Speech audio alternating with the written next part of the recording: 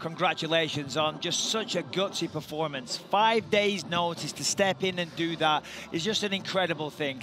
Talk to me about how you're feeling right now.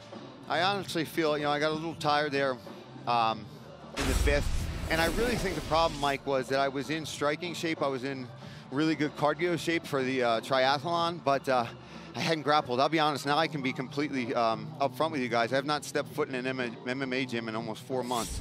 Um, so that was completely based on pure, pure endurance training and some pad work. And then coming here and cutting over 22 pounds in four days.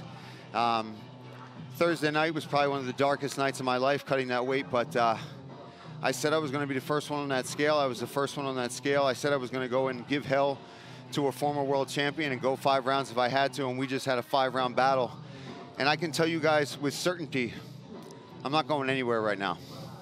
Well, you looked absolutely sensational. Your striking was as fast as I've ever seen it, and you yeah. look so determined. Of course, the fight is over now.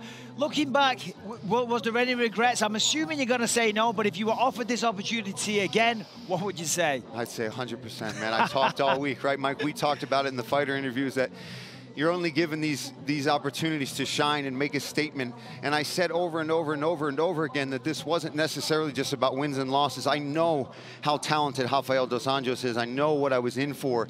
And this is exactly what I wanted. And to get a split decision over this guy, and hopefully, you know, I think we might have got fight of the night here. So I just hope the UFC is, is proud of me and happy.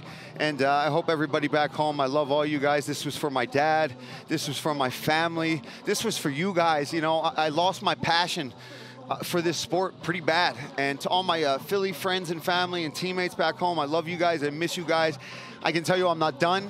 I might lose my ranking a little bit, but what I've learned in this sport is none of that matters. What matters is going out there, showing up, showing who you are inside, what determination you have. And for the guys that missed weight and couldn't make it here tonight, get your stuff together, hire a nutritionist, get on the scale, make weight, and go perform. I was dying on Thursday night to get on that scale at 156 pounds, and I did it, and I showed up tonight for 25 minutes with no training, just training for a triathlon. So get your stuff together, get your together and let's go. Well, thank you, Paul Felder, for saying it in a way far more eloquent way than I ever could. Listen, You're always more eloquent than me, ah, Come on, don't lie to me. Listen, you got to dare to be great to be great. Let me tell you, sir, you went out there tonight. You were great. You made the UFC proud, your father, everyone back home in Philly. And guess what? Everybody all over the world saw what you did tonight, and they are truly inspired. Thank you very much. No, thank you, guys. I loved every second of it.